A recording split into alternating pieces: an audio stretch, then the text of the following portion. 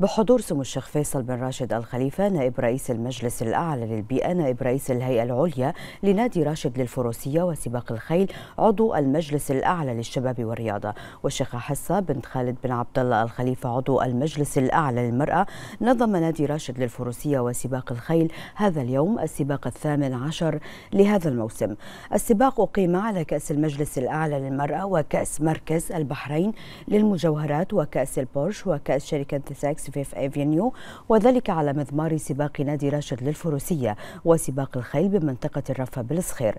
شهد السباق إقامة النسخة الأولى لأمسية رويالتي لسباق الخيل حيث تم تنظيم فعالية خاصة بهذه المناسبة بنادي راشد للفروسية. وسباق الخيل وسط حضور عدد من أعضاء المجلس الأعلى للمرأة وجمع من الشخصيات النسائية ومشاهير الإعلام والمدعوين وسط ترتيبات تنظيمية مميزة حازت على إشادة وإعجاب إعجاب الحضور مما ساهم في إنجاح الحدث.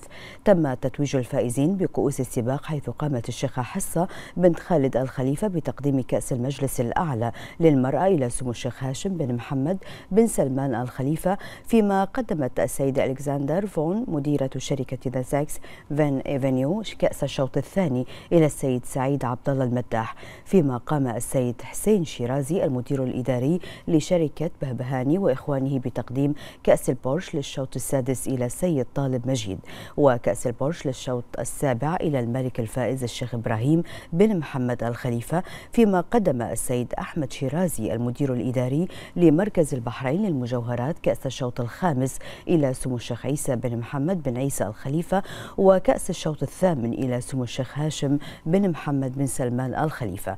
هذا وقد اشتمل السباق على ثمانية أشواط.